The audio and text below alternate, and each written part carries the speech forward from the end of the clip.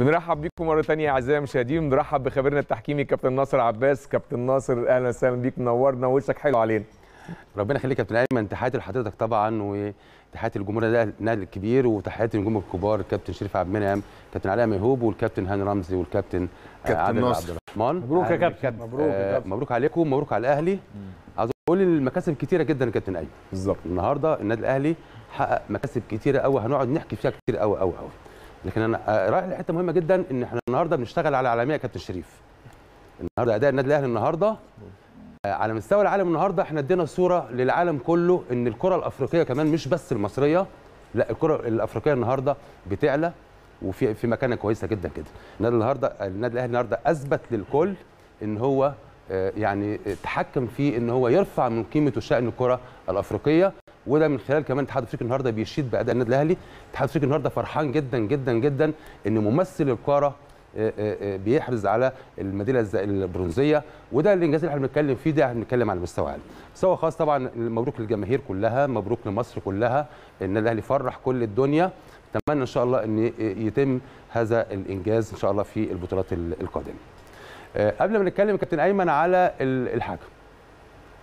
يعني أنا رايح لحتة مهمة جدا جدا النهارده وهي آه، آه، أتكلم على آه، حارس مرمى النادي الأهلي. الكابتن محمد الشناوي. يمكن ال- الكل طبعا أشاد بأدائه طبعا وكلنا طبعا نتفق على إن هو عمل مباراة كبيرة جدا جدا جدا وكان سبب من الأسباب الرئيسية في النهارده إن النادي الأهلي يفوز في هذه المباراة. عايزين نتكلم في حاجة مهمة بالنسبة لمحمد الشناوي يا كابتن. ضربة الجزاء اللي هي الأخيرة. تمام. هو جاي لك. آه، كابتن أيمن عاوز أقول حاجة يعني أنت بتتكلم في حاجة مهمة جدا جدا. آه، ومحمد الشناوي النهارده أنا بشيد بيه مش مجاملة. وده حقه إن هو النهارده عنده ثقافة وفهم لقانون كرة القدم. وده المهم يا كابتن هاني يعني النهارده لما يكون حارس المرمى أو اللاعب عنده ثقافة بالقانون أنت بتطوع القانون ليك. وده اللي إحنا بنقوله النهارده. كابتن هاني النهارده رمزي النهارده مدرب كابتن شريف مدرب لابد انك انت تعرف قانون كره القدم ليه؟ انك انت هتشتغل مع لعيبتك على هذا القانون. وده اللي النهارده بنقول عليه محمد الشناوي. آه، ركله الجزاء الأخيرة يا كابتن شريف خلي بالك على الرغم من هو صد واللعيبة نزلت وفرحت ولكن لو انت تلاحظ هتلاقي الحكم لسه مستني يراجع اللعبه كابتن أيمن. هل هنا في تقدم من الحارس أثناء التنفيذ ولا لا؟ وده اللي أنا بشيد بيه الشناوي يمكن ما حدش لاحظ كتير. ولكن نيجي نتكلم على القانون يا كابتن أيمن قانون كرة القدم. في حاجة اسمها الإجراءات في ركلة الجزاء وفي حاجة اسمها التنفيذ يا كابتن هاني. معايا يا كابتن عادل؟ الإجراءات والتنفيذ. يعني إيه الإجراءات والتنفيذ؟ هاخد عنصر صغير قوي اللي إحنا هنتكلم فيه النهارده يا كابتن شريف وهو عندما يتم التنفيذ من اللاعب اللي هيسدد إيه دور حارس المرمى هنا؟ هنا القانون بيوجبه إن هو على الأقل يبقى هناك قدم أو جزء من قدم على خط المرمى أثناء التنفيذ. معاك كابتن ايمن على الأقل جزء من القدم على خط المرمى أو على الأقل على مستوى خط المرمى وهو ده اللي عمله النهارده الشناوي في تنفيذ الركلة الأخيرة كان هناك قدم ثابتة على الخط وقدم تاني تتحرك وبالتالي طبقا للقانون والتنفيذ هو نجح في إن هو آه، يصد الركلة وبالتالي شفنا الحكم اللي هو آه، الحكم السنغالي لما راح راجع كابتن هاني لقى اللعبة صحيحة ده الحكم؟ ده النهارده يا كابتن؟ نعم. أنا قلت له نعم إيه رأيك في الحكم ده؟ أنا قلت له والله هروح للحكم بس هكمل دي يا كابتن شريف وهروح يعني مش عايزين نقاطعك الحقيقة إحنا مستمتعين آه. بيك وخاصة في النقطة الأخيرة دي اللي أنت أنا بقول الكلام ده ليه أنت تخيل لو حارس ما عندوش الثقافة يا كابتن أيمن صح. مهمه جدا الكلام وكان ممكن النهارده بعد الفرحة دي واللعيبة بتجري الحكم النهارده يعمل يقول لك مراجعه. ويقول لك عيد مظبوط ولكن أنا بحيي تاني الشناوي لأن هو ثقافة ودي بنقولها لمين؟ لكل حراس كرة ال- ال- القدم اللي عندنا نقول لهم. خلي بالكم من آه، التنفيذ النهارده بقى فيه الفار موجود لو النهارده الفار مش موجود الحكم ممكن الحاجات دي بيعديها تدريب كتير قوي يا كابتن نعم. محتاجة تدريب آه، قوي جدا آه. آه، محمد الشناوي أعتقد كمان في التدريبات هو مميز طبعا في ضربات الجزاء والملاحظ كمان إن هو رجليه على الخط لآخر لحظة وكمان في ضربات الجزاء ما بيديش زاوية للراجل عشان ممكن يغير الزاوية فهو بي بيستنى كتير جدا جدا جدا على لعب يعني قبل ما الراجل يحط رجله وده بيصعب الأمور على على بيشوط الكورة. على اللي بيشوط الكورة بشكل عارف يا كابتن هاني أنت بتتكلم في نقطة مهمة. أنا لو أنا بسدد النهارده على شناوي أنا هتحير. ليه؟ صح. حتى في لعبه لو أنت تلاحظ في لاعب من آه، بالمراس أول راح وقف أيوة. وعدى وقف أيوة. شناوي واقف. أول ضربة جزاء. ثابت. ليه؟ صح. هو شناوي النهارده ما بيلعبش على آه، الشكل.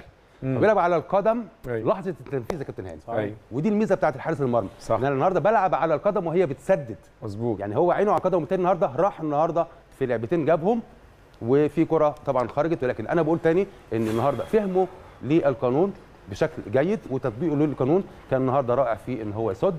عايز. أفهمها تاني يا كابتن حتة ال- الوقفة برجل على الخط والرجل بره الخط. يعني أنت تقدر تبعد وممكن عشان تسد الزاوية ممكن تروح برجلك بعيد زي اللي عملها الشناوي النهارده. تمام. ولو لمست بس أو جزء من رجلك لمس آه. وهو بيسدد آه. تبقى زي دي. آه. صح؟ بالظبط كده يا كابتن عادل. هو هو اشترط يقول لك إيه؟ ساعة ما اللاعب ما بيسدد انت يجب انك انت كحارس يبقى في جزء أو قدم على على الأقل الخط. على خط المرمى. دي حاجة مهمة جدا بالظبط كده. المرمى طبعا. أنا بقول الكلام ده تاني بقوله برافو الشناوي النهارده. بجد أنا يعني الوحيد اللي أنا كنت قاعد واثق جدا إن دي مش هتتعاد هو كنت أنا كنت أنا كابتن هاني ممكن انت كنت قاعد معايا. قلت مش هتتعاد ليه؟ لأن أنا عارف الشناوي كويس قوي بيبقى بينفذ ويطبق هذه الحالة آه، كويس. بشكل جيد. تقييمك بالنسبة- بقى؟ لحكم المباراة زي ما قال الكابتن شريف؟ طيب طب أنا عايز أقول لك حاجة بس إضافة ليك واشادتك بالشناوي. أنا بشيد بالشناوي من أيام ماتش أورجواي في كأس العالم. الحقيقة الماتش ده بالنسبة لي الشناوي مش بيبحث عن نفسه عن هوية لا هو عالمي من ساعتها. بالظبط. وما زالت يعني لولا النتائج ما تبقاش في صالحنا الحقيقة كان هو هيبقى في منطقة تانية خالص وما زال في منطقة تانية. تمام يا كابتن شريف. آه هنروح للحكم يا كابتن آه، شريف. كابتن علاء خليك معايا شوية عشان انت الحكم النهارده انت يعني اتكلمت عليه كتير. آه، الحكم النهارده السنغالي وحاول في البداية برضك ان التعيينة ديت كابتن شريف برضك الاتحاد الدولي لا ينظر ابدا ل ان النهارده النادي الأهلي من قارة أفريقيا والحكم آه، اللي هو مجيد نضاي من السنغال وهو من قارة أفريقيا وبالتالي هنلاقي الثلاثه حكام كلهم من أفريقيا ومعاهم الحكم الرابع اللي هو كان الحكم الفيديو كان رضوان جيد هو كان الحكم كلهم من أفريقيا وبالتالي ما عندوش مشكلة الاتحاد الدولي كابتن أيمن إن هو يلاعب طاقم تحكيم أفريقي لنادي من طبعا القارة. السنغالي مجيد نضاي هو 35 سنة كابتن آه، آه، شريف. الحكم بنتكلم فيه نمرة واحد. موهبه خبرات. كمان آه، هل هو بيشتغل على نفسه وبيتفرج وبيشوف وبيحلل الالعاب ولا لأ؟ يعني النهارده الحكم مش برضك بيطلع كده يحكم لأ. في شغل اتعمل معاه ولا ما اتعملش. لما يجي نتكلم هو في الموهبة هو مش موهوب. يعني كحكم مش موهوب. أيوه. لأن أحيانا الموهبة لما يكون حكم موهوب بتغطي كتير جدا جدا من المذاكرة القانونية أو من. التطبيق القانوني. نيجي نتكلم على حاجتين يا كابتن أيمن في الناحية الفنية والناحية البدنية. هو في البدني بسم الله ما شاء الله يعني آه، بيمتاز بالسرعة والخطوة مفتوحة وبيستغل عناصر السرعة كلها من سواء تحمل عام تحمل سرعة أو السرعه القصوى عند اللزوم. بيتحرك كويس قوي قوي قوي بيجري كتير في الملعب. ولكن نيجي في الجزء الفني بقى اللي هو المهم. آه، في البداية إحنا اختلفنا معاه في بعض المخالفات الفنية كابتن شريف. أول آه، حالة أنا اختلفت معاه اللي هو الخطأ اللي تم ارتكابه ضد آه، قفشة على حدود منطقة الجزاء خطأ آه، يعني الخطأ موجود والعرقلة موجودة وأنا فوجئت إن هو خلى اللعب يتواصل ويستمر. ده كان يجب عليه إن هو يحتسب هذا الخطأ. هو لو عنده ناحيه فنية كان ممكن يحسب هذا الخطأ. كمان لما نقول الحكم كمان عنده ثقة بالنفس والشخصية التحكيمية حالتين في ركله ركنيه هو استنى الحكم المساعد.